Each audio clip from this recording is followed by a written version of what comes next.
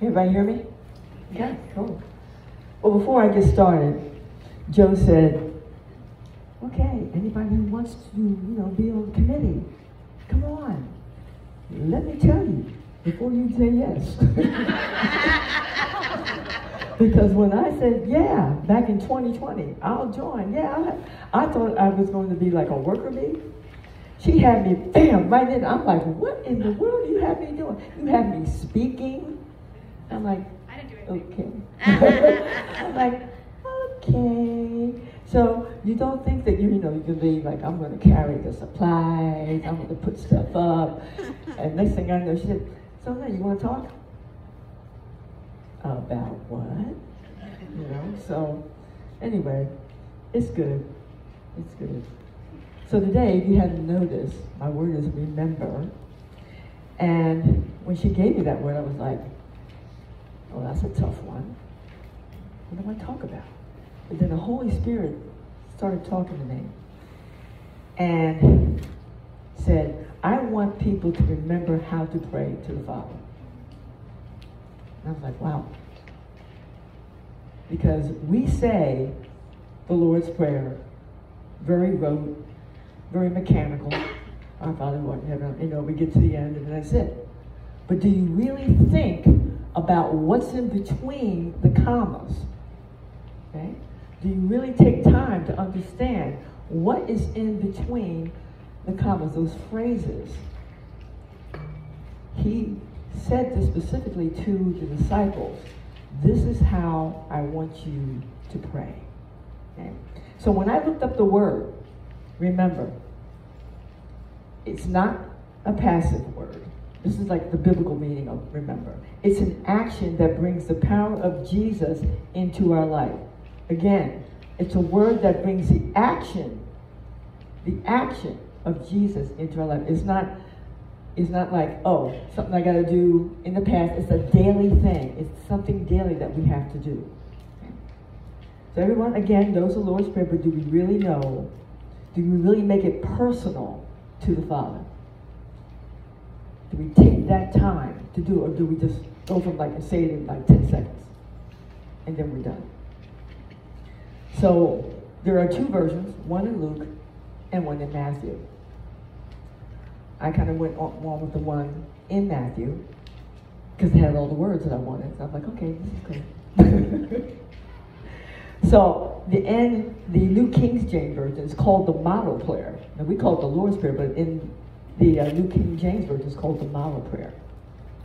And let me read it to you just for a little bit. It says, Our Father in, in heaven, hallowed be thy name. Your kingdom come, your will be done on earth as it is in heaven. Give us this day our daily bread and forgive us our debts as we forgive our debtors. And do not lead us into temptation, but deliver us from the evil one. For yours is the kingdom and the power and the glory forever. Amen. Now, sometimes we say, some people say debt, some people say sin, some people say trespasses. So it gets a little tricky in church. You're like, who's going to say what? like, okay. I'm, I'm, I'm used to saying trespasses, so I still, I still do that. But let's think about the words between the commas. What does God want us to remember? So let's take our Father. When we say our Father, he wants us to remember that we accepted Christ and he became now our father. He is our Abba. He is our daddy. We are his children. Okay? I don't say I'm adopted. I am his child. He created me in my mother's womb. And he loves us and he wants for us just like any parent on this earth. He wants the good for us. He has our back. He knows our needs, our fears, our wishes. He wants a close relationship.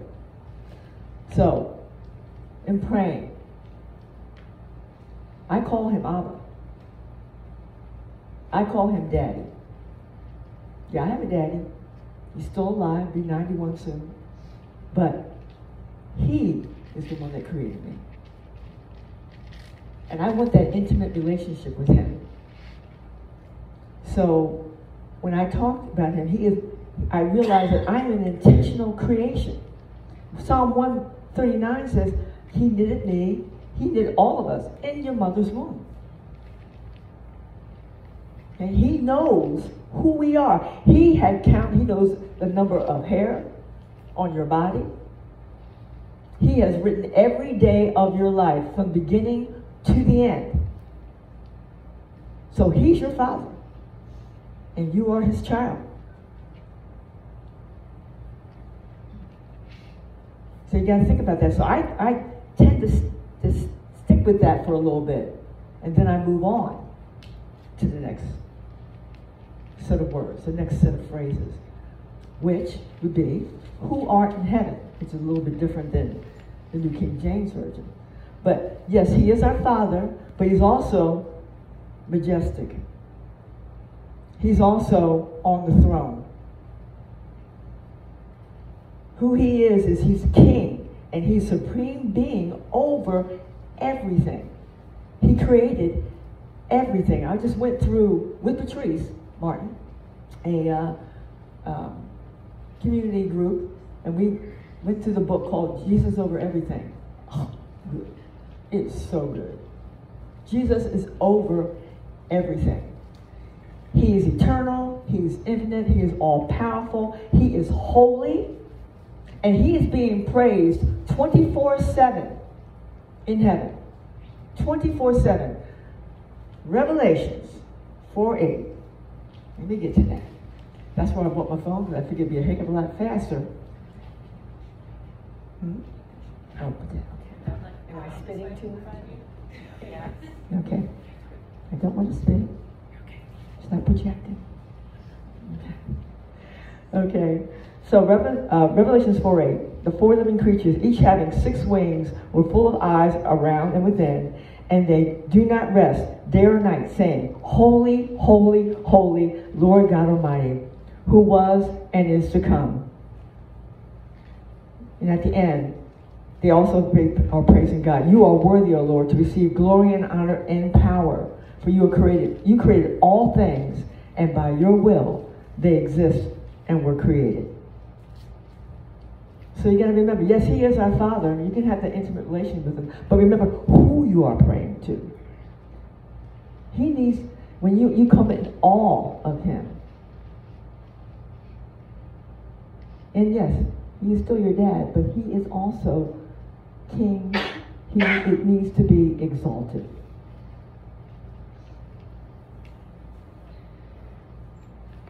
So when I think about who art in heaven, I think about home.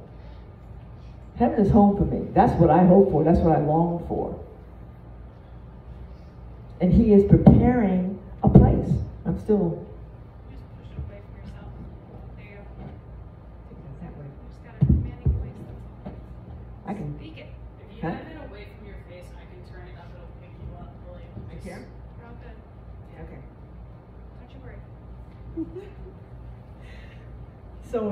John, and I can actually talk without it.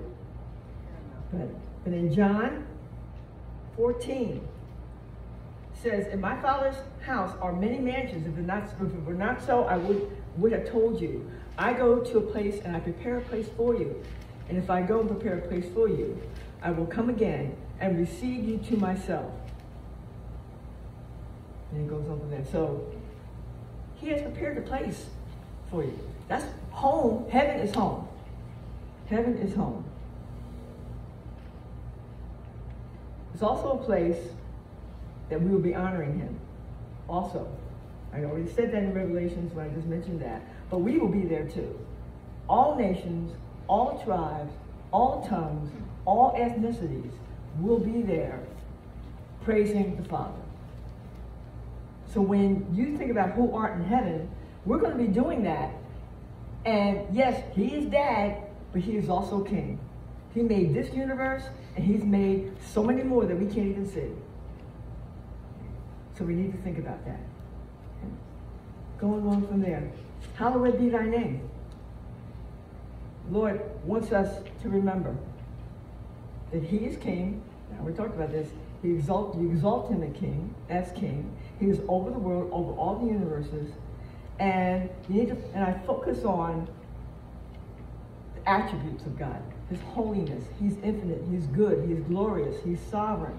He's omnipotent. He is worthy. His name is not to be taken in vain. Now, that's a big one for me because it bothers me every time I see a movie, it takes the Lord's name in vain. TV shows takes Lord's name. It is, I grieve every time I hear it. They use his name as a curse word in songs. Think about that. Here you have the Father who is in heaven, sitting on his throne. He created us. He loves us with a love that is just unbelievable. And you have people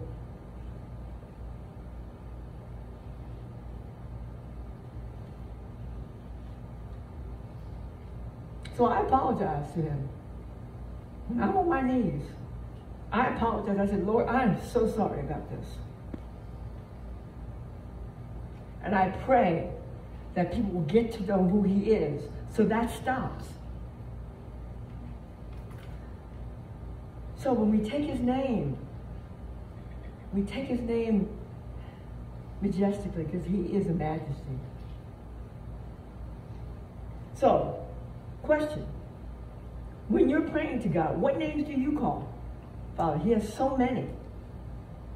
Anybody? Lord, Mm-hmm. Father, Jehovah. Mhm. Elohim, that's one. There's so many names that the Father has. There was one time, I'll give you an example.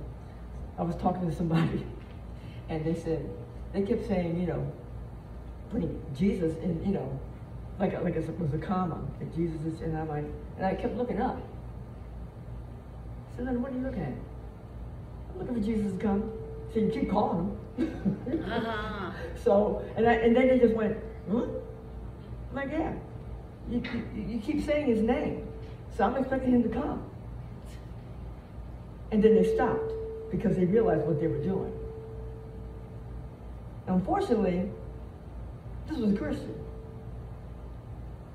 See, sometimes we don't we don't know what we're doing. We gotta we gotta make sure we understand what we're doing and what we're saying and how and that relationship with the Father. The closer you are to Him, the less of that you will do. The less you're more in awe of Him. Moving on. Thy kingdom come. Remember, God wants us to remember that He is bringing His renewing authority to earth. He's coming back, yay, and He's going to be reigning on earth as King.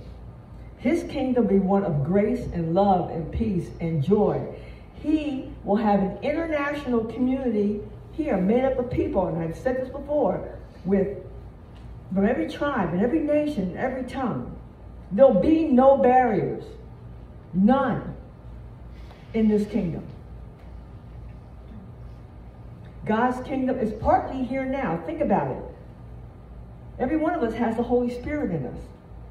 So there's a little bit of heaven right here. And that was mentioned before, yesterday. So that was when Joe was saying, we didn't know what we were going to be saying to each other. But every time a person accepts the Lord Jesus Christ as their Savior, the Holy Spirit is in them, a piece of heaven is again here on this earth. But it will only come in this fullness when Christ returns.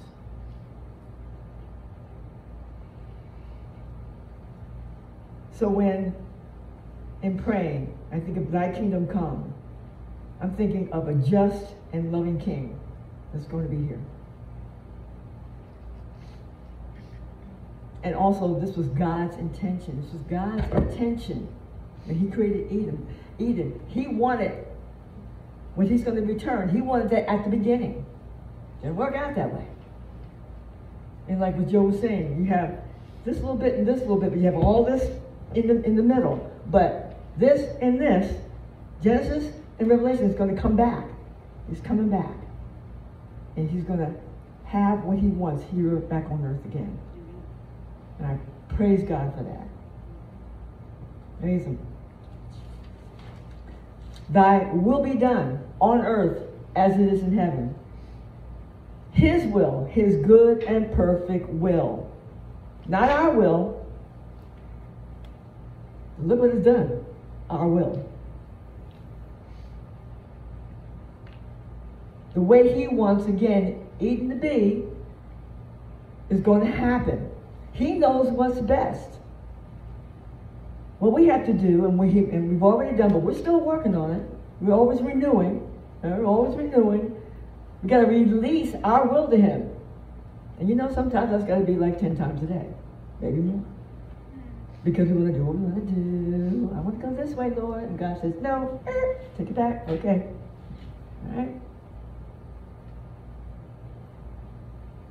Focus on His agenda. His agenda, all you got to do is read His Word. It's in there. Focus on His Word. This is His mission. His will will be back here on earth the way He wants. His good and perfect will. And that's what I do when I start praying about it. I start thinking about His good and perfect will. Anybody have any other thoughts about what that phrase means? Thy will be done on earth as it is in heaven? Anybody ever given any thought to that? I just think about how it's God's will in heaven, that there's not question, hesitation, struggle, it's just, it's just what happens, it's the natural order of things. Right. It's the way that things are supposed to be. Mhm. Mhm. Anybody else? I get stuck on the word supposed to be because there is no supposed to be when it comes to God. It can be any way you think or like he has certain rules for things, but when supposed to be comes in where it's feels kind of like there's too many rules and it needs to be the way that That's a good point. I see fit with what he sees for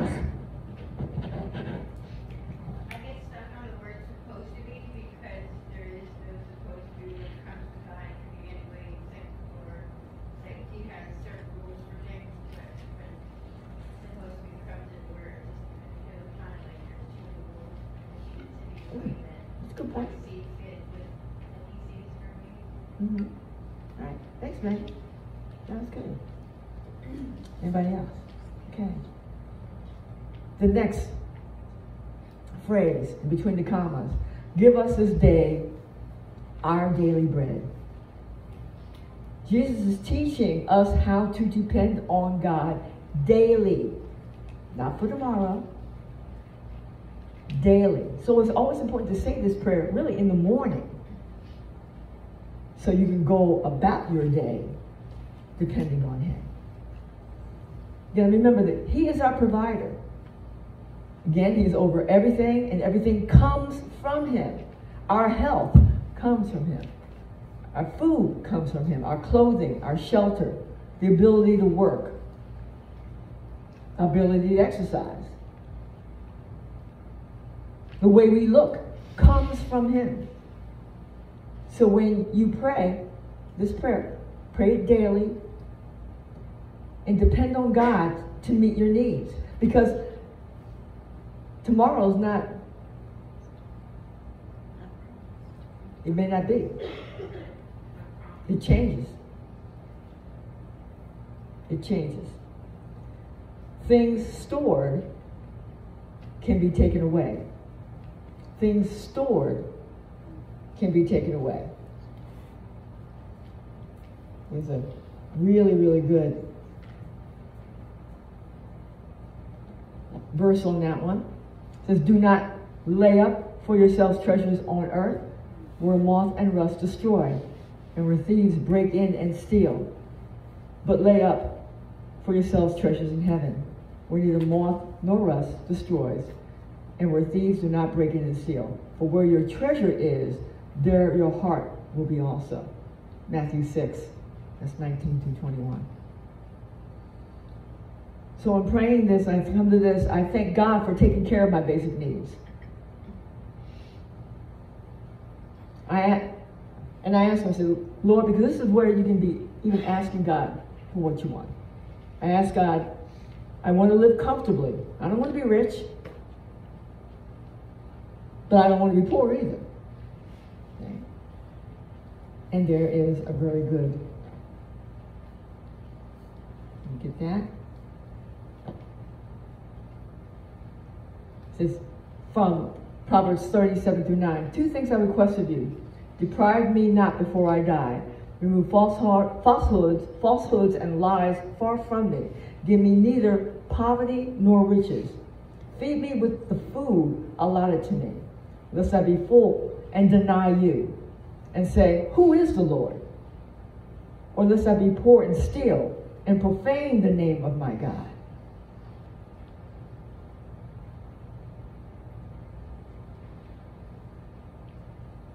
I don't want to be rich and I don't want to be poor.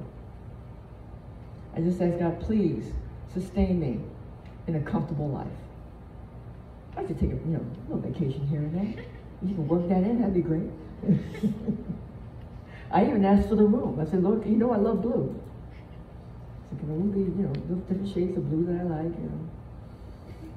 I kind of get too far into my thoughts.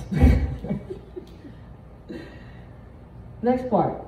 And forgive us our trespasses, or our debts, or our sins. Remember, bring your sins to him and ask for forgiveness. Only God can release you and give you the freedom that you need from your sins. It also says that if you, uh, forgive your sinners first, Mhm. turning the story No sin is too big. Christ died on the, on the cross for all sin, small to large. Small to large. So when I pray this, I thank God for dying for all of my sins the past, the present, and the ones that I don't even know are going to happen. But He does. He knows them. And I also pray for those who don't know Christ. I ask the Lord, please, for those who don't know you, that they come to know you and that they, their sins can be forgiven. The second part of this is the tougher one. As we forgive those who trespass against us. Sometimes we got to do that a lot for maybe one particular person or whatever. But remember, this is what he wants us to remember. Forgiving brings freedom and deliverance. Because that person's going along going, la la la la la, I'm living my life. And you're like, daggone that person. I remember this, I remember this. And the person's like not even knowing that you had this, this offense against them. They don't even know. Forgive them, and this is what I've done. Now, you might want to do this in a room nobody will see you because you might think that you're- crazy. But you might have a, have a chair, boom, and you have and you're sitting in a chair, and that chair is empty, and you imagine the person that's in that chair, sitting in that chair, and maybe even call out their name, and say, "Whoever, I forgive you." Make it real. Make it real. Do it in your closet. Do it in your head, but make it real to that person. That yes, I forgive you. You hurt me. You did so and so, so and so, so and so, whatever. You can only do that through Christ. You can't do it alone. You got to ask Christ, Holy Spirit, please, Lord, help me with this.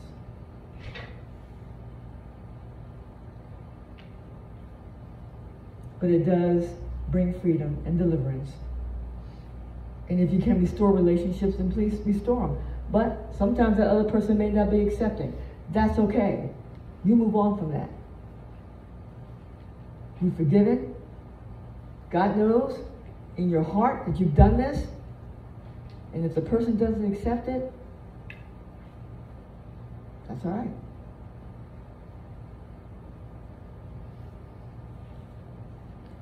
In Matthew, in 6, chapter 6,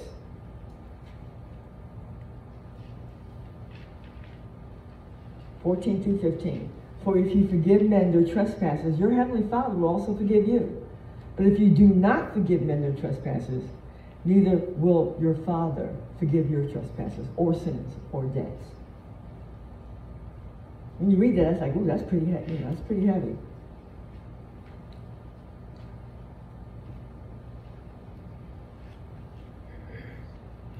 So you want to be close to God. You want Him to hear your prayers. You want to have peace in your life. And you must forgive the ones that have hurt you. And lead us not into temptation, but deliver us from evil. Remember, we are not immune to temptations. Yeah, we're Christians, we believe in God, we love Him, but we are not immune to temptations. We have to fight this battle because Satan knows that we are with Christ. And because we're in Christ, Satan wants to ruin our lives for us. So there may be temptation. So you have to fight the battle in Christ, with Christ, alongside of Him. In Christ's strength. Did you fight the battle by praying daily? There are spiritual battles that we do not see.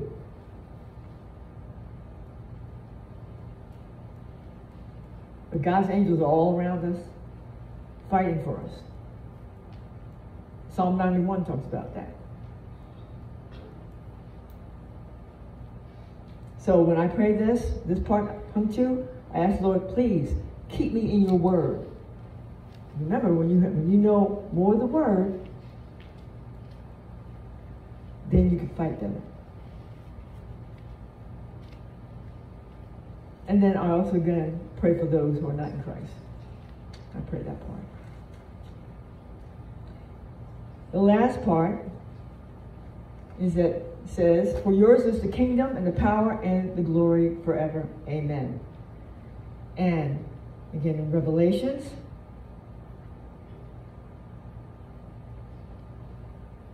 says, John saying, Then I looked and I heard the, the voices of many angels around the throne, the living creatures and the elders, and the numbers of them was ten, 10,000 times 10,000, and thousands of thousands, saying aloud with one voice, Worthy is the Lamb who was slain to receive power and riches and wisdom and strength and honor and glory and blessings.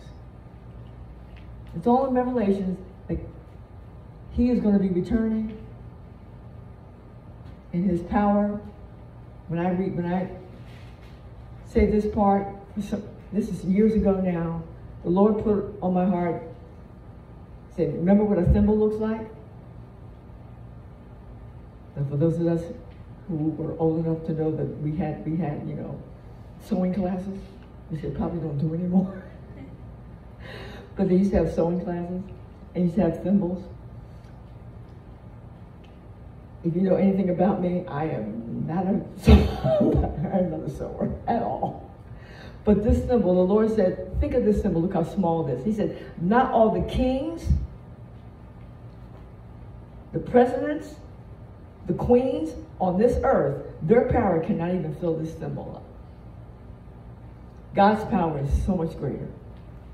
So much greater.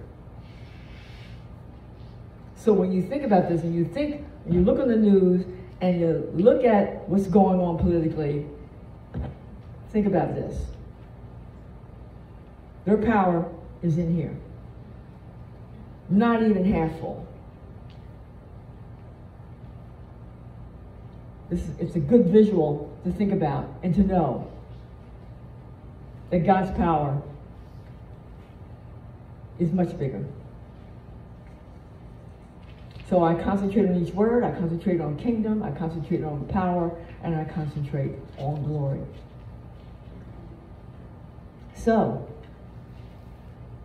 in summation, remember to make your prayer God centered and not self centered.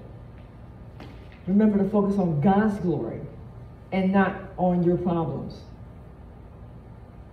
The Lord's Prayer, or the model prayer, is still relevant. Make it a personal prayer from you to Him. Remember, God loves you. And remember, God is returning to renew. God is returning to restore. God's returning to refresh. You got to remember to return and repent to Him. And when you pray, don't do it in front of men that you be boasting. Do it in the space that's just between you and Him. Okay. In your booklet, page 20. I know that because I numbered mine, so I can say that. Is a reflection question.